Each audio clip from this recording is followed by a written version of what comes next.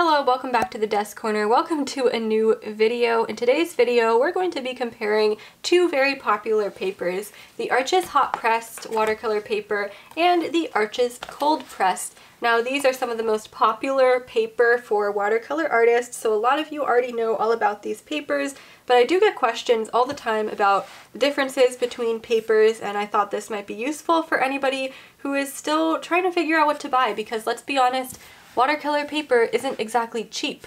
I think I'm just going to go over some of the basics before we jump into the demonstration paintings where you can actually see me using the papers and talking about it rather than just sitting here talking about it. But the hot pressed paper is a lot smoother than the cold pressed paper. And so I kind of want to just zoom in because it's hard for you guys to see the texture. If I zoom in really far, you can see this paper has more texture than the hot pressed, but they both have a smoother and a rougher side. So this is the smoother side of both of them.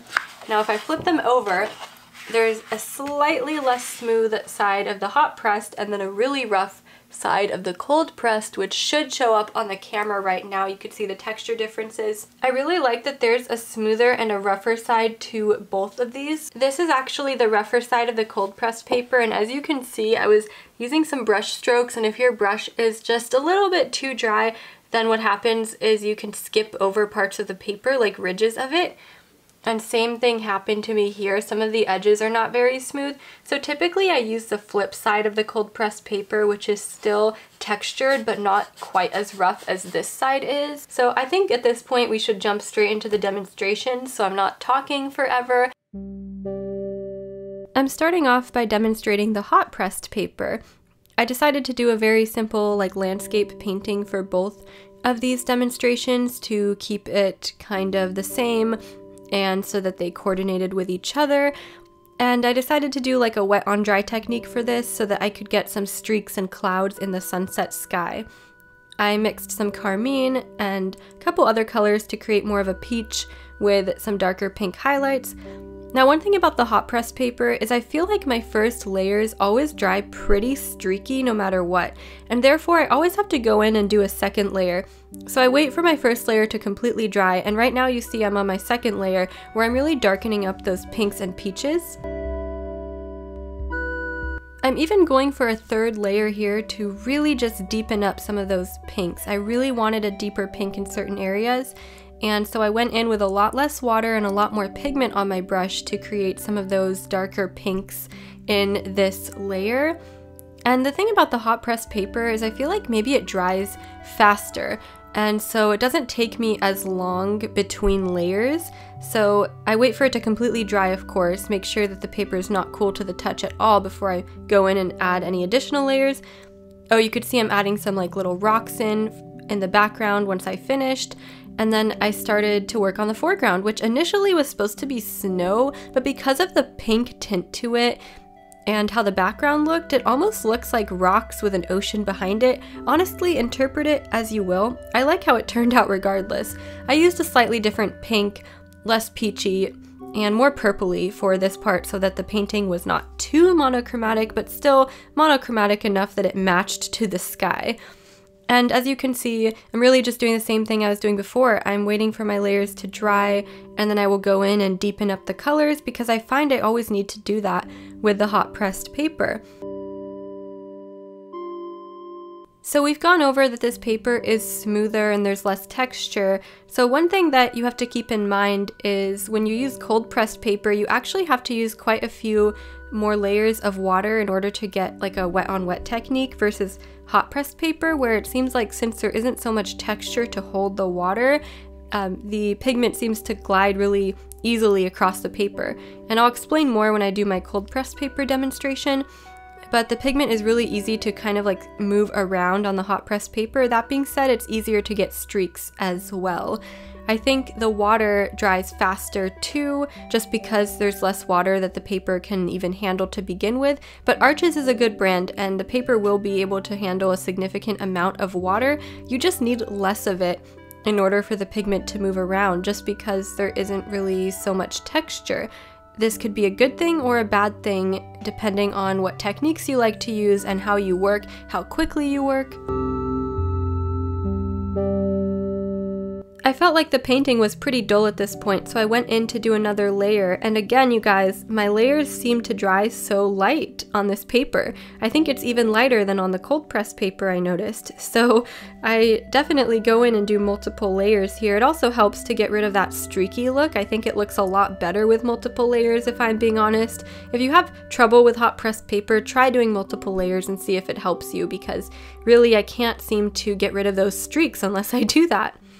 Once the paper is 100% dry, and I really mean you have to wait for it to dry or else you could really mess it up here, but once it's completely dry, I went in and sketched in uh, my tree branch silhouettes, which I'm going to fill in with fine liners. And that's another advantage of hot pressed paper. I feel like you can use a lot of media with it.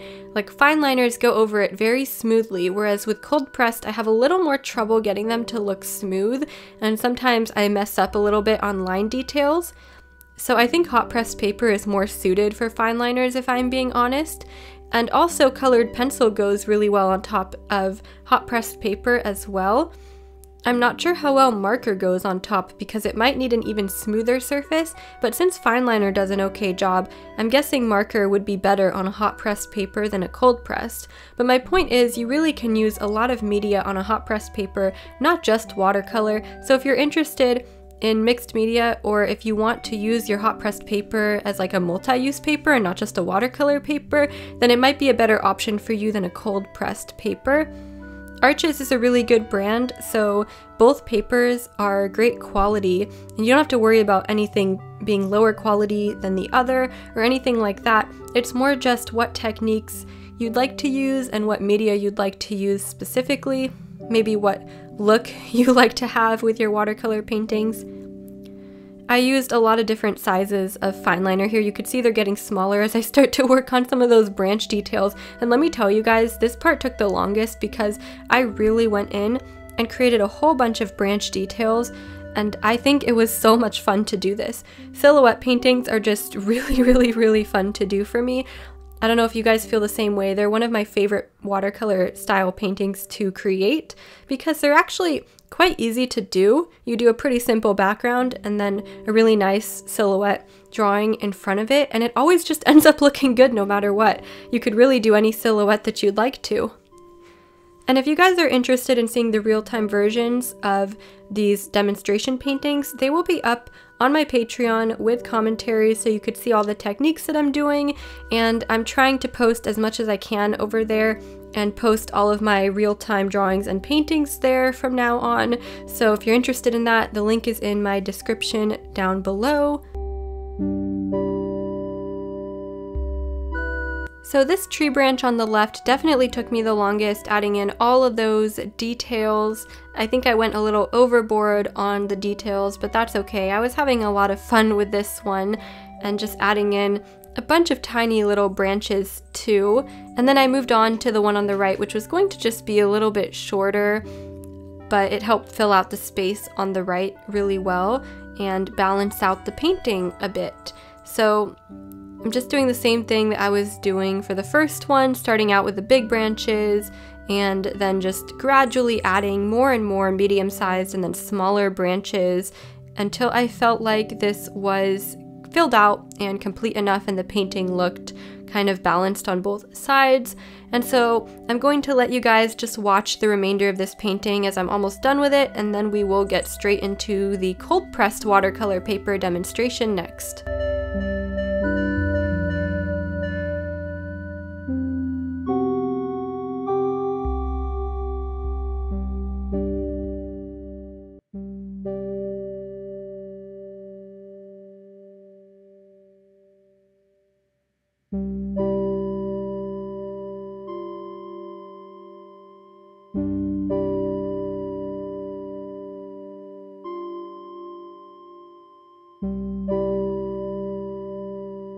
So I thought I would slow this down at the very end of my process here and at the end of the video I will compare both of the paintings that I'm going to do for you guys anyways and show them again.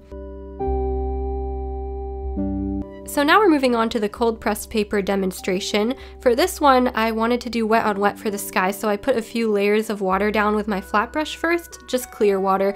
Then I went in with the paint and I did a similar sky like a sunset.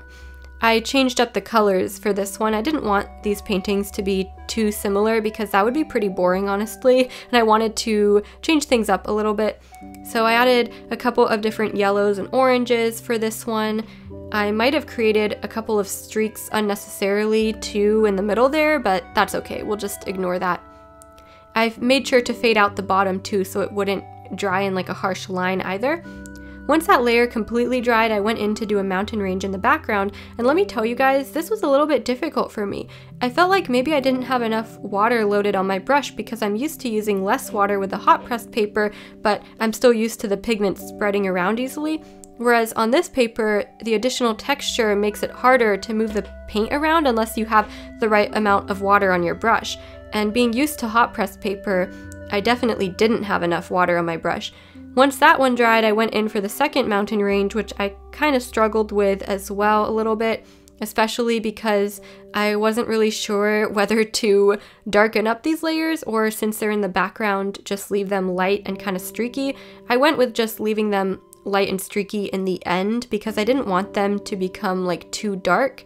But the mountain range in the front, I definitely decided that it needed to be darker. So you'll see me go in with that additional layer with more pigment and really just darken up that mountain range in the front.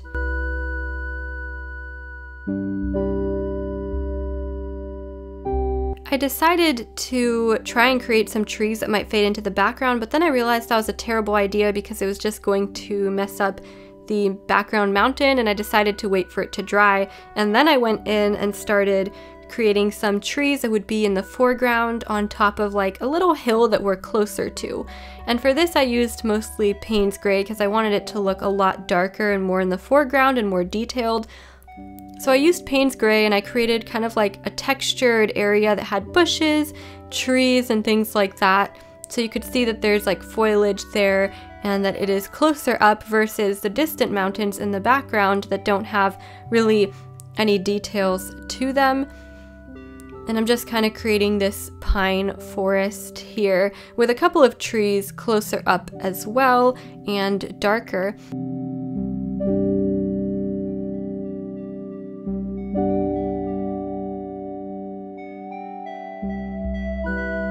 So you definitely can still create details with the cold pressed paper with paint. I just find it harder to do it with fine liners with a really fine point. And so I waited for this to dry. I decided the sky was kind of boring, so I went in and created some like fun little clouds that are more formed at the top and less faded out. And I just wanted it to be a little bit more interesting and not so boring in those layers of the sky, which kind of dried pretty light. Again, I didn't really go in for an additional layer on the sky like I should have, I don't know how people paint without doing more than one layer because for me, I just can't really get it to look right on the first. I went in and painted some birds with Payne's Gray to break up the sky a little bit, add some interest, and you guys can see I really got that misty effect in the mountains there. I don't know I was going for that, but that's how it turned out, and so I decided to just sort of leave it at that.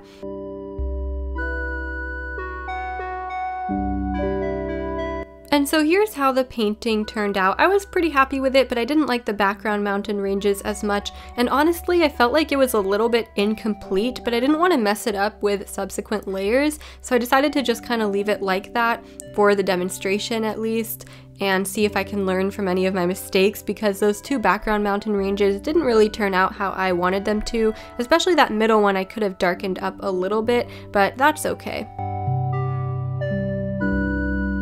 Overall, both papers are a great choice. It just depends on what your specific techniques are.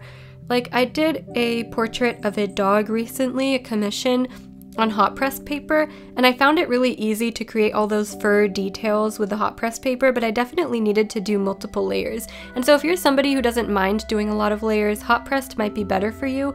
If you don't like doing a lot of layers, cold pressed might be better for you because really I don't think I can get away with doing hot pressed paper with just one or two layers. It just doesn't work. The layers are too streaky at first and they don't dry as evenly. So cold pressed paper might be the way to go if you're looking to do more simple paintings that don't take quite as long. That being said, I think my painting could have still have benefited from doing another layer, but I was a little bit apprehensive to do so. I still liked how it turned out though. Let me know what you guys think about it. Also with the cold pressed you can create a very textured painting if you'd like to because I'm showing you guys the rough side here that is just a lot more rough to the touch. So if you're into creating very textured paintings, the cold press might be for you because there's two sides to that one too. But anyways, you guys, I hope you enjoyed this video and found it useful or at least entertaining to watch. Let me know which paper you prefer in the comments down below, and uh, don't forget to leave a like and subscribe if you'd like to see more content from this channel, of course. Again, thank you so much for watching. I will see you guys in the next video. Bye!